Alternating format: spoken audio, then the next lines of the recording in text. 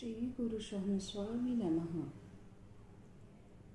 ज्ञानशक्तिसमारूढं तत्त्वमालाविभूषितं भुक्तिमुक्तिप्रदातारं तस्मै ଶ୍ରୀଗୁରବେ ନମଃ ଭଗବାନଙ୍କ କେତୋଟି ପ୍ରସିଦ୍ଧ ନାମର ଅର୍ଥ ଭଗବାନ ନାମ ସାକ୍ଷାତ ଭଗବତ ସ୍ୱରୂପ ତହିଁରେ ଅଚିନ୍ତ୍ୟ ଶକ୍ତି ଅଛି। ଜପ ଓ ଉଚ୍ଚାରଣ ଦ୍ୱାରା ନାମ ନିଜର ପ୍ରଭାବ ପ୍ରକଟ କରେ। କିନ୍ତୁ ତାହାର ଅର୍ଥ ହୃଦଙ୍ଗମ ହେଲେ ଅଧିକ ତଥା ଶୀଘ୍ର ଲାଭ ମିଳିଥାଏ। ଭଗବାନ ନାମ ଅନନ୍ତ। କେତେକ ଲୋକ ପ୍ରଚଳିତ ନାମର ଅର୍ଥ ଆଜି ଏଠାରେ ଆମେ ବର୍ଣ୍ଣନା କରିବା। କିନ୍ତୁ ସେହି ନାମ ଗୁଡ଼ିକର ଅର୍ଥ କେବଳ ସେତିକି ନୁହେଁ ସେଗୁଡ଼ିକର ଅନ୍ୟାନ୍ୟ ବହୁତ ଅର୍ଥ ବିଦ୍ୱାନମାନେ କରିଅଛନ୍ତି। ରାମ ରମନ୍ତେ ଯୋଗିନୋ ଯସ୍ମିନ୍ ଯାହାଙ୍କଠାରେ ଯୋଗୀଗଣ ରମନ୍ତି ନିଜର ଚିତ୍ତକୁ ଲଗାନ୍ତି ଅଥବା ରମତେ ସର୍ବେଷୁ ଭୂତେଷୁ ଯେ ସମସ୍ତଙ୍କ ହୃଦୟରେ ବିହାର କରନ୍ତି ସେହି ପରମାତ୍ମା ରାମ ବୋଲାନ୍ତି।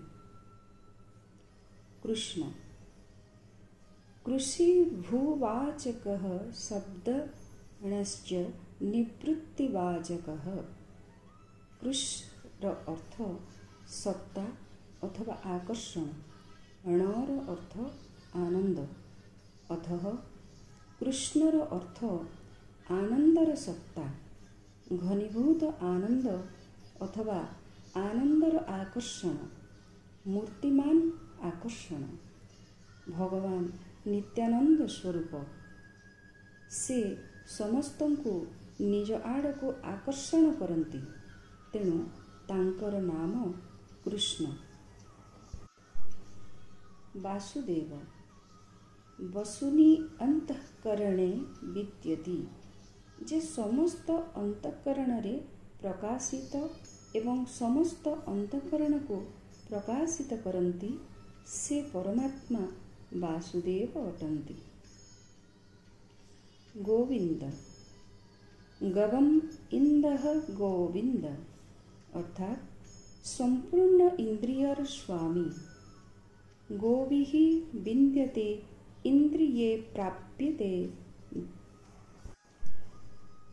ଯେଉଁ ସଗୁଣ ସାକାର ପରମାତ୍ମା ଇନ୍ଦ୍ରିୟ ଦ୍ୱାରା ପ୍ରାପ୍ତ ହୁଅନ୍ତି ଯାହାଙ୍କର ପ୍ରାପ୍ତି ହିଁ ଇନ୍ଦ୍ରିୟର ପରମ ସଫଳତା। ଗୋବିର୍ବେଦ ବାକ୍ୟ ବିଦ୍ୟତେ ଲଭ୍ୟତେ ଇତି ଗୋବିନ୍ଦ। ବେଦବାଣୀ ଦ୍ୱାରା ଯାହାଙ୍କର ସ୍ୱରୂପ ଉପଲବ୍ଧି ହୁଏ ସେ ଗୋବିନ୍ଦ। ଗୋ ଇନ୍ଦ୍ରିୟମାନଙ୍କର ବିନ୍ଦ ଅଧିଷ୍ଠାତୃ ଦେବତା। ଗୋ ବେଦବାକ୍ୟ ବିନ୍ଦ୍ୟ ବେଦବାକ୍ୟ ଦ୍ୱାରା ପ୍ରାପ୍ତ ସୌରୀ ସୁରସେନଙ୍କ ବଂଶରେ ଉତ୍ପନ୍ନ ଶ୍ରୀକୃଷ୍ଣ ଯାହାଙ୍କଠାରେ ସୁରତା ନିତ୍ୟ ନିବାସ କରେ ଯାହାଙ୍କ କୃପାରୁ ପ୍ରାଣୀ ମାୟାକୁ ଜିତିବାର ଶୌର୍ଯ୍ୟ ପ୍ରାପ୍ତ କରେ ସେହି ଭଗବାନ ସୌରୀ ସଂକର୍ଷଣ ଯେ ପ୍ରଳୟ କାଳରେ ସମ୍ପୂର୍ଣ୍ଣ ପ୍ରଜାଙ୍କୁ ନିଜଠାରେ ଆକର୍ଷିତ କରି ନିଅନ୍ତି ସେ ସଂକର୍ଷଣ ଦାମୋଦର ଦାମନ ଅର୍ଥ ରଜ୍ଜୁ। ଦିନେ ଯଶୋଦା କ୍ରୋଧରେ କୃଷ୍ଣଙ୍କୁ ରଜ୍ଜୁରେ ବାନ୍ଧିଥିଲେ ତେଣୁ ତାଙ୍କ ନାମ ଦାମୋଦର। ଶେଷ ପ୍ରଳୟରେ ସମ୍ପୂର୍ଣ୍ଣ ସୃଷ୍ଟି ନଷ୍ଟ ହେଲେ ମଧ୍ୟ ଯେ ବଞ୍ଚି ରହିଥାନ୍ତି ସେହି ପ୍ରଭୁଙ୍କୁ ଶେଷ କୁହାଯାଏ। ମୁକୁନ୍ଦ ମୁକ୍ତିଦାତା ହେବାରୁ ଭଗବାନଙ୍କୁ ମୁକୁନ୍ଦ କୁହାଯାଏ। ମଧୁସୂଦନ ପ୍ରଳୟ ସମୁଦ୍ରରେ ମଧୁ ନାମକ ଦୈତ୍ୟକୁ ମାରିଥିବାରୁ ଭଗବାନଙ୍କୁ ମଧୁସୂଦନ କୁହାଯାଏ। ହରି। ଯେ ଯଜ୍ଞରେ ହବିଭାଗ ଭାଗକୁ ହରଣ ଗ୍ରହଣ କରନ୍ତି ସେହି ପ୍ରଭୁ ଯଜ୍ଞଭୋକ୍ତା ହେବାରୁ ହରି ବୋଲାନ୍ତି। ହରାମ୍ୟଙ୍ଘମ ସ୍ମତୃଣାମ। ଭଗବାନ କହିଛନ୍ତି ଯେ ମୋତେ ସ୍ମରଣ କରୁଥିବା ଲୋକଙ୍କର ପାପକୁ ମୁଁ ହରଣ ନାଶ କରିଦିଏ। ଏଣୁ ମୋର ନାମ ହରି। ଅଚ୍ୟୁତ ଯାହାଙ୍କର ସ୍ୱରୂପ ଶକ୍ତି ସୌନ୍ଦର୍ଯ୍ୟ ଐଶ୍ୱର୍ଯ୍ୟ ଜ୍ଞାନାଦିର କେବେ କୌଣସି କାଳରେ କୌଣସି କାରଣରୁ କିଞ୍ଚିତ ମଧ୍ୟ ହ୍ରାସ ହୁଏ ନାହିଁ ତାହାଙ୍କୁ ଅଚ୍ୟୁତ କୁହାଯାଏ। ବୈକୁଣ୍ଠ ଯେଉଁଠାରେ ପହଞ୍ଚିଲେ ଜୀବର ଆବାଗମନର ଗତି କୁଣ୍ଠିତ ହୋଇଯାଏ ସେହି ପ୍ରଭୁ ବୈକୁଣ୍ଠ ଅଥବା ବିଗତ କୁଣ୍ଠା ମାୟା ଯଶ ବୈକୁଣ୍ଠ। ଅର୍ଥାତ୍ ଯେ ମାୟାଗ୍ରସ୍ତ ନୁହେଁ ସେ ହିଁ ବୈକୁଣ୍ଠ। ଜନାର୍ଦ୍ଦନ। ଅର୍ଥ ଧାତୁର ଅର୍ଥ ପୀଡ଼ା ନାଶ ତଥା ଯାଚନା। ଯେ ପ୍ରଳୟ କାଳରେ ସମସ୍ତଙ୍କୁ ନାଶ କରନ୍ତି ଅଥବା ଯେ ଅବତାର ଗ୍ରହଣ କରି ଦୁଷ୍ଟ ଦମନ କରନ୍ତି ଓ ଭକ୍ତମାନେ ଯାହାଙ୍କର ପ୍ରାର୍ଥନା କରି ଯେ ଏକମାତ୍ର ଯାଚନା କରିବା ଯୋଗ୍ୟ ବରେଣ୍ୟ ଅଟନ୍ତି ସେ ହିଁ ପ୍ରଭୁଙ୍କୁ ଜନାର୍ଦ୍ଦନ କହନ୍ତି। ଅଥବା ଜନ ନାମକ ଦୁର୍ଦାନ୍ତ ଦାନବକୁ ଯେ ବିନାଶ କରିଛନ୍ତି ସେ ଜନାର୍ଦ୍ଦନ। ମାଧବ ମା ଅର୍ଥ ମାୟା ଅଥବା ଲକ୍ଷ୍ମୀ ମାୟାପତି ଅଥବା ଲକ୍ଷ୍ମୀଙ୍କର ପତି ହେବାରୁ ଭଗବାନଙ୍କର ନାମ ମାଧବ ଋଷିକେଶ ଋଷିକ ଅର୍ଥ ଇନ୍ଦ୍ରିୟ ଯେ ମନ ସହିତ ସମସ୍ତ ଇନ୍ଦ୍ରିୟର ଈଶ ବା ସ୍ୱାମୀ ଯେଉଁ ଅନ୍ତର୍ଯାମୀଙ୍କ ଶକ୍ତିରେ ମନ ଇନ୍ଦ୍ରିୟ କର୍ମ କରନ୍ତି ଏବଂ ଯେ ଇନ୍ଦ୍ରିୟ ତଥା ମନର ପରେ ସେ ଋଷିକେଶ ପଦ୍ମନାଭ।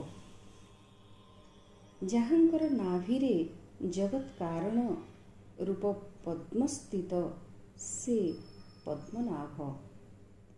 କେଶବ କ ବ୍ରହ୍ମା ଅ ବିଷ୍ଣୁ ଇସ ଶିବ। कश्च अश्च ईशश्च ଯତ୍ ବଶେ ବ୍ରହ୍ମା ବିଷ୍ଣୁ ଓ ଶିବ ଯାହାଙ୍କ ବଶରେ ରହନ୍ତି ସେ କେଶବ ଅଥବା କ ଅ ଈଶ ବ ଅର୍ଥାତ୍ ବ୍ରହ୍ମା ବିଷ୍ଣୁ ଓ ଶିବ ଯାହାଙ୍କର ବପୁ ବା ସ୍ୱରୂପ ସେ କେଶବ ଅବାକି ଅର୍ଥ ଜଳ ଯେ ଜଳରେ ଶବ ପରି ଭାସୁଥିଲେ ମହାପ୍ରଳୟରେ କ୍ଷୀରସାଗର ବୃକ୍ଷରେ ଶବ ପରି ଭାସମାନ ହେବା ହେତୁରୁ ତାଙ୍କର ନାମ କେଶବ।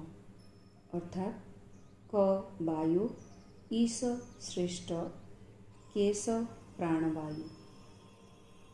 ବ ପ୍ରାପ୍ତ। ଅର୍ଥାତ୍ ଯେ ସମସ୍ତଙ୍କ ପ୍ରାଣବାୟୁ ରୂପରେ ବିଦ୍ୟମାନ ଅଛନ୍ତି ସେ କେଶବ ନାରାୟଣ ନାରରେ ଯେ ଘର କରି ରହନ୍ତି ତାଙ୍କୁ ନାରାୟଣ କୁହାଯାଏ।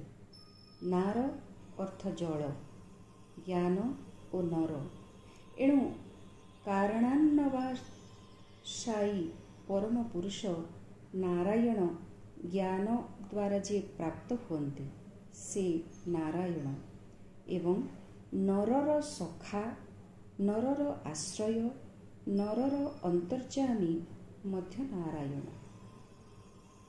ଭଗବାନ।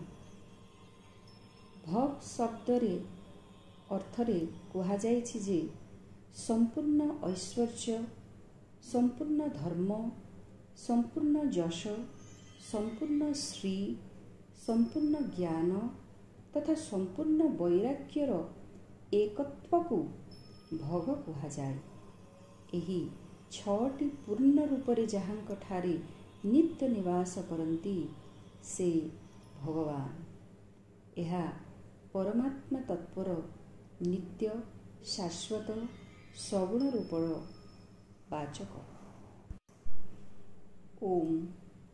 ଏହା ସଗୁଣ ନିର୍ଗୁଣ ଉଭୟାତ୍ମକ ସମଗ୍ର ପରମାତ୍ମ ତତ୍ଵର ବାଚକ। ଅ ସତ୍ଵଗୁଣ ତଥା ଭଗବାନ ବିଷ୍ଣୁଙ୍କର ଉ ରଜଗୁଣ ତଥା ବ୍ରହ୍ମାଙ୍କର ମ ତମୋଗୁଣ ତଥା ଶିବଙ୍କର ବାଚକ ଅଟେ। ଅର୍ଥମାତ୍ରା ପ୍ରକୃତିର ସୂଚକ ଓ ବିନ୍ଦୁ ପରମ ବ୍ରହ୍ମର ବୋଧକ। ଏହିପରି ପ୍ରଣବ ସମଗ୍ର ବ୍ରହ୍ମଙ୍କର ବାଚକ ଅଟେ। ପ୍ରଣବରୁ ବେଦର ସୃଷ୍ଟି। ଏହା ଅନାହତ ନାଦ ଓ ଏହାର ଉଚ୍ଚାରଣ ଦୀର୍ଘ ଘଣ୍ଟା ଧ୍ୱନି କରି